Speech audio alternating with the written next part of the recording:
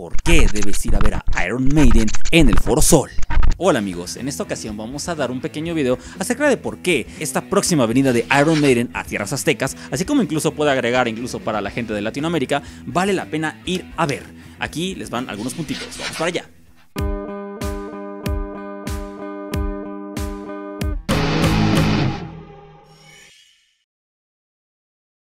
Este video es con el fin también de invitar a la gente que no se ha animado a ir a lo que va a ser este show de Iron Maiden, porque hay muchas razones por las cuales incluso la gente considera que no lo vale, ya que hay algunas razones también erróneas, las cuales mencionaré aquí, pero entre muchas cosas también vamos a destacar el por qué esta gira es más que especial. Y tú, sí, tú amigo que me estás viendo, tienes que ir a verla un show nunca antes visto. ¿Y a qué me refiero con eso de un show nunca antes visto? Bueno, el detalle es que por primera vez Maiden va a dar una experiencia única. Normalmente Maiden a partir de lo que fue eh, Brave New World, incluso el Ed Hunter Tour, empezó a dar como cierto tipo de estética de gira, el cual se ha mantenido solamente cambiando una que otra cosita. Claro, cada gira ha tenido su estética única y sus elementos y vestuarios únicos, pero esta es especial, ya que aquí hay nuevos efectos, nueva pirotecnia, nuevo performance, nuevos alimentos e incluso nuevos vestuarios que nos van a encantar, nunca antes vistos en la historia de Maiden, de verdad, nunca antes vistos. Y esto nos lleva a un nuevo escenario, y es quizá una de las cosas más interesantes, que hay un nuevo escenario. Como les digo, normalmente la estructura de los shows de Maiden eran estas, y esta no cambiaba era raro que agregaran aditamentos para que este fuera diferente. Solamente había como cambio obviamente estético en cuanto a las lonas, los fondos y algunos agregados como por ejemplo en el Book of Souls Tour, eh, las pirámides o en lo más reciente de Legacy of the Beast 2.0 Tour por así decirlo, los agregados de Senjutsu bastante interesantes. Pero en esta ocasión, por primera vez, aunque en sí la estructura parecería ser la misma, por primera vez hay cosas nuevas, luces LED únicas en lo que es la parte superior del escenario, dos pantallas que simulan no nada más lo que muestra normalmente para la gente. No, estas dos pantallas van a mostrar elementos como los videoclips, como edits renderizados, como nuevas cosas que van a estar al lado de lo que son las lonas. Nuevas lonas, obviamente, así también como nuevos elementos del escenario. Grande, es un armado único, especial, nunca antes visto en la historia de Maiden jamás. Es la primera vez que se hace este cambio notorio en esta gira The Future Past Tour se rememora Somewhere in Time. Y este es uno de los discos más pedidos durante toda la vida por bastantes fans. No nada más por los fans, sino por mucha gente. Así como, por ejemplo, sabemos que Maiden suele hacer una gira de clásicos, una gira de álbum nuevo, una gira de clásicos, una gira de álbum nuevo, o a veces de repente hace como una gira de éxitos. Lo que pasó en la gira de Somewhere in Back in Tour y lo más reciente con el Legacy of the Beast. Pues en esta ocasión vamos a retocar lo que era un disco que la gente pidió por años. Que incluso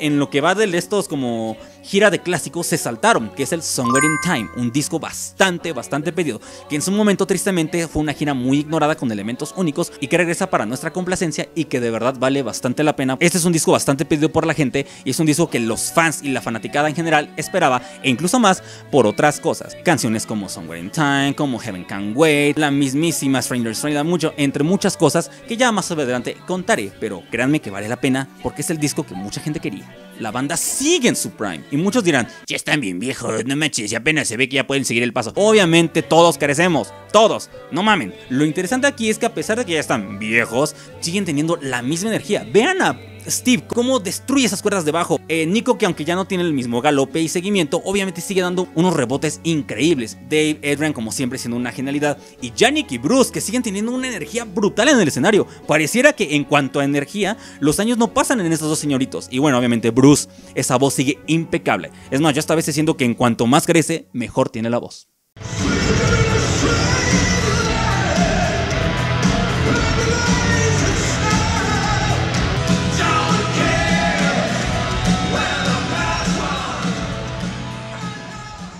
Nuevos efectos y pirotecnia. Y es que por primera vez Maiden va a traer efectos únicos. Como les digo, en esta vez van a traer incluso tipos de lanzallamas diferentes, algo a lo Rammstein pero a su modo. Sobre todo en cierta canción, vamos a poner un pequeño pedacito, no quiero spoilerar, pero para que se den una idea de lo que van a traer, así como alguno que otro nuevo efecto nunca antes visto en giras de Maiden. De verdad, nunca antes visto. Tratando de replicar incluso lo que fue en su momento el in Tour, pero trayéndolo a la modernidad de nuestra era, de verdad, insisto, incluyendo las nuevas pantallas que van a simular y van a colocar cosas como edits renderizados, eh, elementos de los videoclips, así como una que otra cosita que va a adornar el escenario como nunca antes. más Eddie que nunca. Y para aquellos que muchas veces decían, es que Eddie sale nada más como en dos canciones, por primera vez puedo decirles que esta es la gira donde más Eddies vamos a tener.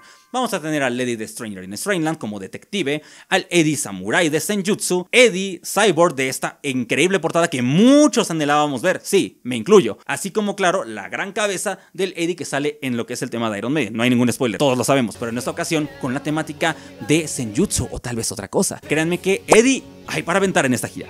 La voz de Bruce mejor que nunca. Y es que aquí hay algo que seguramente nadie les ha puesto a pensar. Durante lo que eran las primeras giras entre el Peace of Mind War Peace Tour, durante el World Slavery Tour e incluso el Songwriting Tour, rozando lo que era el Seven Tour o Fast Seven Tour, la voz de Bruce nunca fue mala, pero realmente eh, hacía algo similar a lo que hacía Freddie Mercury, que no se atrevía o no quería, no sé por qué, alcanzar los tonos de sus propias canciones. Por ejemplo, si la canción sonaba así... Él la cantaba así. Que ojo, no suena mal, pero obviamente no suena igual de imponente como sonaba en, disco. Y algo que a partir justamente del Seven Tour of Seven Tour en adelante, eh, Bruce no ha parado de mejorar en cuanto a sus agudos y vocal.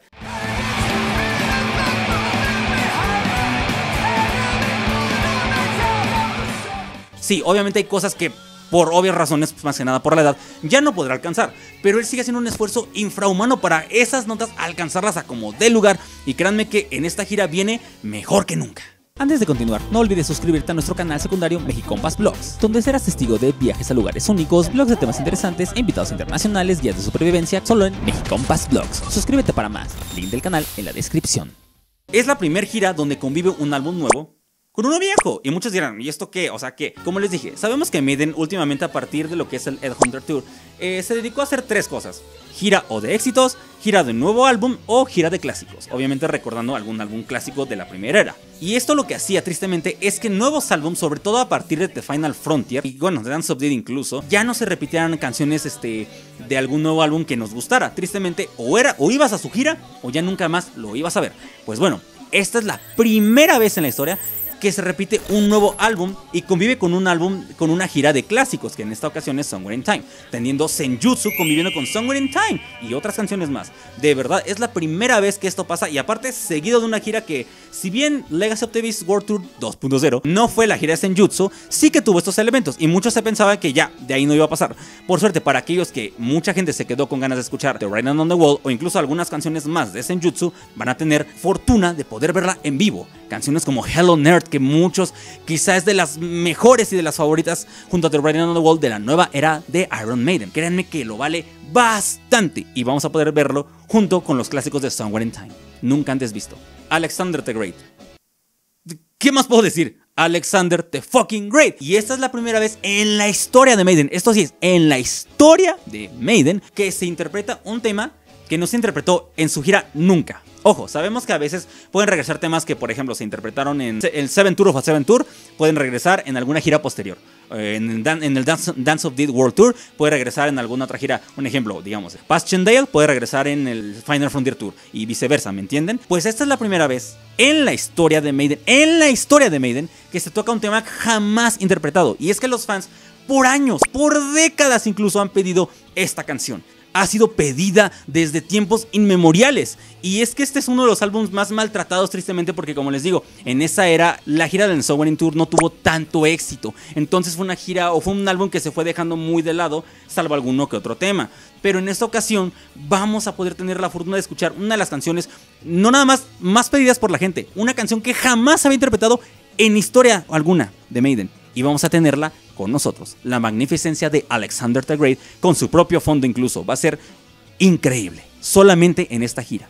El siguiente punto es un pequeño spoiler, así que bueno, sáltense a este minuto, les doy tiempo. Una, dos, tres, cuatro, 5. El regreso de grandes clásicos. Y estamos hablando no nada más de canciones como Stranger in Strangeland, Wasted Years, Heaven Can Wait, eh, sino hablamos de canciones como The Prisoner, The Fucking Prisoner y Can I Play With Madness, que no se tocaba desde el Made in England Tour. Algo muy, muy, muy genial.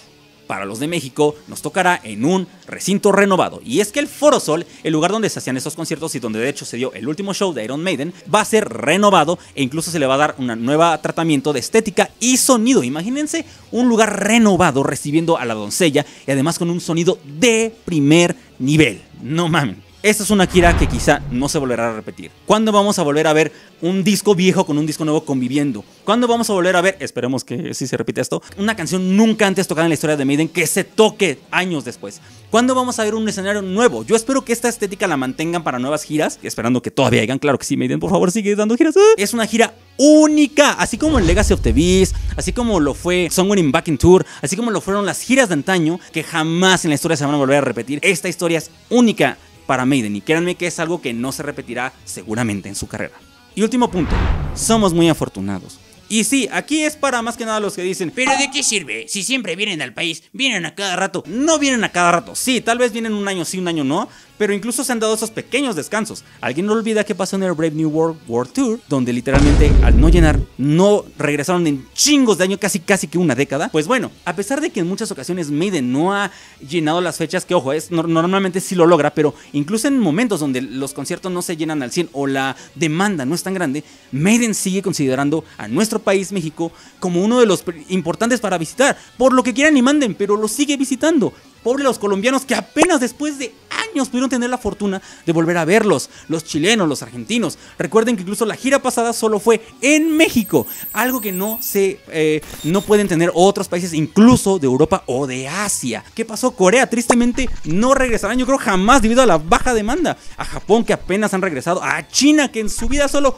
una vez han ido. Yo sé que hay mucha gente que no vale la pena. Es que las canciones nuevas no son tan buenas. Es que ya están viejos. Es que ya no es lo mismo. Amigos, Iron Maiden sigue siendo la hostia, dirían nuestros amigos españoles. Siguen siendo una banda maravillosa, siguen siendo una banda de primer nivel, con un gran escenario, con un gran performance, con un gran sonido. Entonces, amigos, por favor, esto es algo que tenemos que tener muy en mente. Somos afortunados en tener a la doncella aquí y qué mejor que ir a verlos. Hay que disfrutar de esta gran gira The Future Past Tour que vale bastante la pena. Espero verlos pronto ahí en cualquiera de sus países. Vamos a ver a Maiden. Y sí quería aclarar este punto porque de verdad tristemente mucha gente se ha dejado llevar por estos comentarios eh, de gente que tal vez incluso tampoco no se ha dado la oportunidad de consumir eh, o entender a lo nuevo que lo nuevo de Maiden. Por eso mucha gente no quiere ir o no piensa que, que valga la pena ir. O sea, veamos que en otros países incluso ya han roto récord de ventas e incluso han abierto hasta tres fechas por la misma demanda. No hay que dejar que esto pague la pasión que tenemos por Iron Maiden porque créanme que cada vez vienen más renovados que nunca. Sí, obviamente crecen como cualquier ser humano. Sí, obviamente